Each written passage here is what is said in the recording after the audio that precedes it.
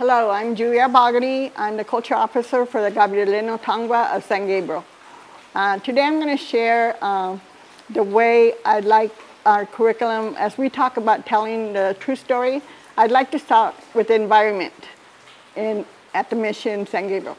When people came to the mission, there were no signs out there saying, help wanted, now hiring, apply today. And then I have a picture of a Tongva girl that is so happy she's building her home, her key for the Tongva. The hut is called a key, K-I-I-Y. And then she's handing an apple to the priest. And I want you to look at it and tell me what kind of posture is she having? And that's where we open the door.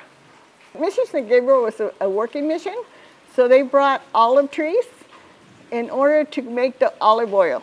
And then they brought, Spanish brought lemons for lemon trees, but we had lemongrass for lemonade.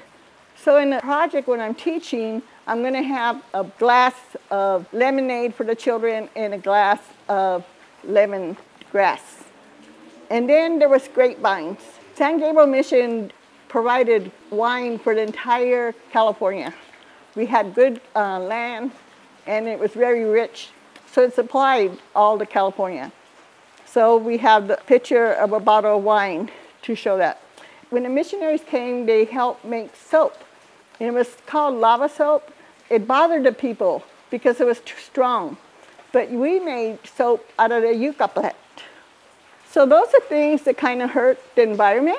And I think when we're telling the truth about the missions, we should uh, understand how contact hurt. If it takes 13 years to build a mission, we weren't sitting around for 13 years. We were learning things and we were uh, providing workforce for the missions in order to make these things that we had never, it's not like we didn't have them, we had just not seen them in the same way that people had seen them before.